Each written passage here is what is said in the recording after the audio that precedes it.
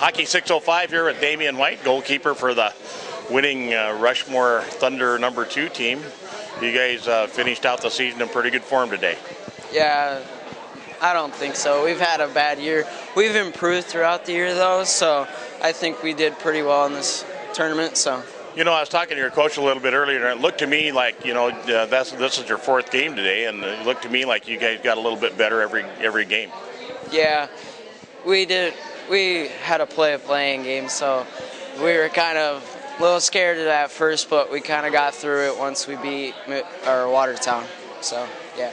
So, uh, are you done with uh, hockey now for a while, or are you going to play summer hockey? I don't know yet. I'm probably going to have to talk to my parents. Well, you know, I thought you really did a nice job for your team all weekend, and you know, uh, one thing I always wonder, and I ask every goalie I can, and I get a different answer from everybody, but how in the world do you see that puck when it comes flying in there so fast? Um, pretty much it's just if you see it at last minute, it's just a quick reaction. That's what I, I don't know. That's pretty much what it is. It's just quick reaction. Try to stick your glove out there and get it on there. Yeah.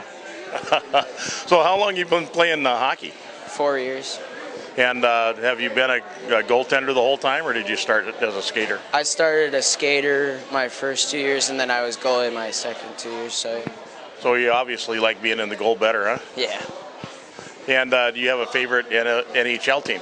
Uh, Blackhawks. And favorite uh, player? Um, Patrick Kane. Yeah. All right.